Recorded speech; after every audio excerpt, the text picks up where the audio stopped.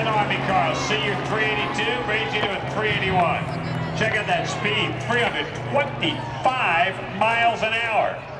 325 miles an hour is the fastest run ever in top fuel. Give it up for the Army car, gang. A little bit of history right there. The fastest top fuel run ever, 325 miles an hour. Great job. The first top fuel car to run over 325 miles an hour. Great job right there for the Sarge, for Mike Green for the Army. Cory smoked him early. I'll have to settle with that 389 from earlier. Larry Dixon will have to settle for being number two. Here your top 12. Troy Buff is the bubble boy. Dominic Ran is 11. TJ Zizzo 10. Shawn Langdon 9. Your top 8, Antron Brown for Matco Tools is 8. Cory McClenathan for Fram is 7.